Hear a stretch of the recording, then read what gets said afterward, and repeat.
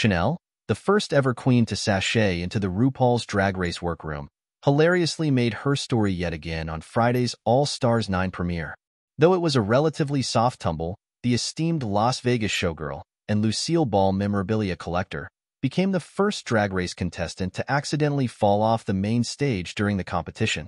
The moment came as the season one icon and her AS9 sisters prepared choreography to accompany their Drag Queens Save the World group remix performance, with Shannel following Jorgeous's lead by practicing her steps while looking forward as her feet clicked backward. Oh, S. Shannel exclaimed as she fell backward, thankfully landing on her right foot, and potentially saving her from becoming yet another drag race queen whose ankle went cleek. In a confessional, Shannel doubled over with laughter when addressing the moment. Back on the stage, Roxxxy Andrews joked that the show would play that in slow motion for viewers. Naturally, the show did just that, playing the comical happening back in super slow-mo.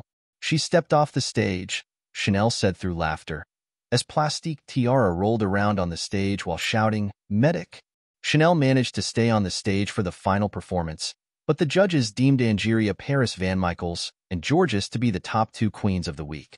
Shannel might be the first queen to accidentally fly off main stage, but she's far from the only queen to have left the structure altogether. During the infamous season 11 lip sync between six contestants, which also included All Stars 9 Queen Plastique, Honey Davenport memorably jumped off the stage as she mouthed the lyrics to Jennifer Lopez's Waiting for Tonight.